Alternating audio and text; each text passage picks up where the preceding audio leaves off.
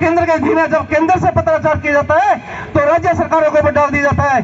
साथियों, हम लोगों को दोनों ओर से पीसा जा रहा है। इसलिए हमें मजबूरन आज दिल्ली का रुख करना पड़ा है और अपनी आज़ादी के लिए अगर हमें कुर्बानियाँ शहादतें देनी पड़ेंगी तो उसके लिए हम तत्पर खड़े हैं। इसलिए आप लोगों से हमारी यही उम्मीद है कि सभी साथी जो है, अपने हित के लिए आगे बढ़े और इस सत्र में अगर हमारे हित के लिए संसदीय एक्ट में संशोधन किए जाते हैं, तब तो ठीक है। अन्यथा अगला जो सत्र बैठेगा उसमें पूरे भारतवर्ष का हिंदुस्तान का होमगार्ड जोन जो है, दिल्ली के लिए कूच करेगा और माननीय प्रधानमंत्री महोदय गृह मंत्री महोदय के समक्ष में हमारी बार बार एक ही प्रार्थना रही कि महोदय, हमारे इस एक्ट में संशोधन करके हमें भी देश के स्वतंत्र भारत के संविधान में शामिल किया जाए और हमें भी राज्य कर्मचारी या केंद्र कर्मचारी का दर्जा दिया जाए।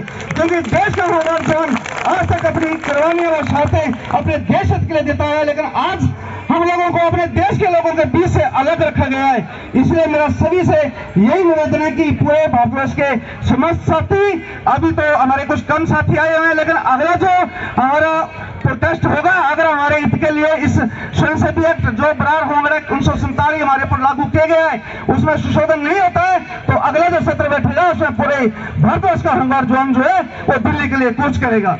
मेरा सभी से यही साथी के साथियों, बढ़ चढ़कर सहयोग करो।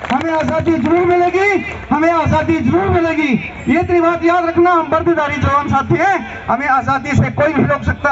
अगर आप लोगों का साथ होगा तो बहुत जल्द हम लोगों को आज़ादी मिलेगी और देश का प्रथम होमगार्ड सैनिक, जिसे अर्धसैनिक बल से नाम जाना जाता है। उसको इस आज़ादी के लिए चाहे कुर्बानियाँ देनी पड़ेंगी, उसके लिए हम लोग पूरे देश के कई वीर साथी जो हैं, वो साथ खड़े हैं। इसलिए मेरा आप लोगों से यही निवेदन रहेगा कि ज़्यादा से ज़्यादा अगर इस एक्ट में संशोधन होता है, इस सत्र में तो ठीक है, नहीं तो अगले सत्र में भारी संख्या में पूरे भारतवर्ष का होमगार्ड जोन जो है, अपनी पीड़ों को लेकर दिल्ली के लिए कूच करेगा।